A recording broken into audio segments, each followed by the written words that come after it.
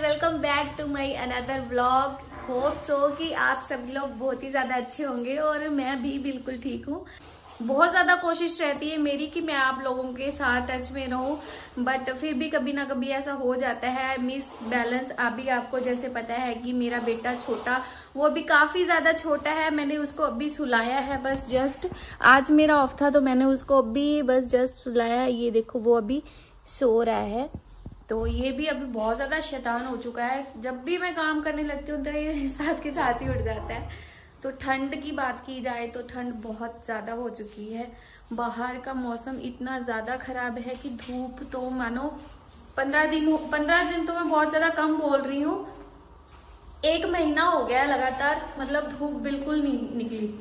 सूर्य देव ने बिल्कुल भी अपने दर्शन नहीं दिए, बिल्कुल भी। और मुझे लग रहा अगर और पंद्रह दिन ना निकले तो सबके सब लोग बीमार हो जाएँगे।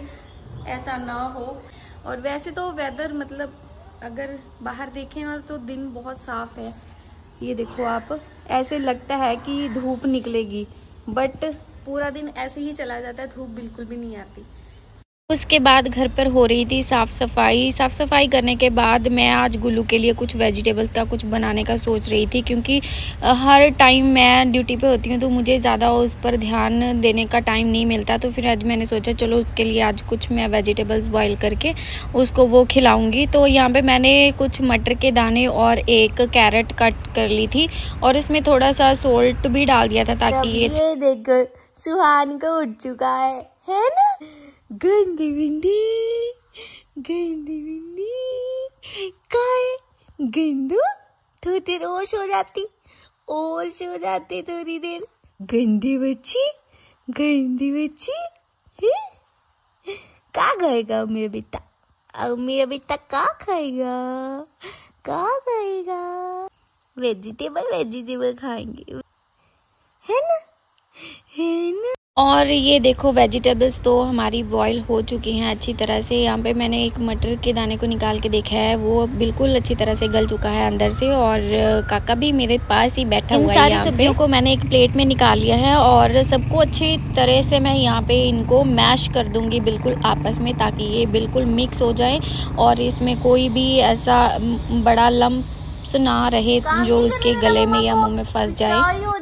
पिटाई बैठ जाओ आराम से मैं बता रही हूँ घिस जाओगे नहीं तो?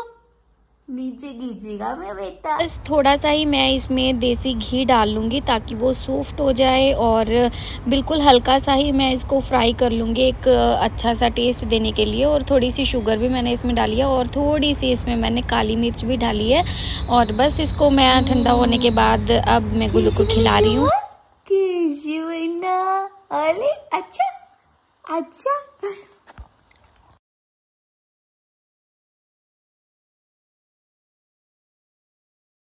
Hello, mama, mama, mama, mama, mama.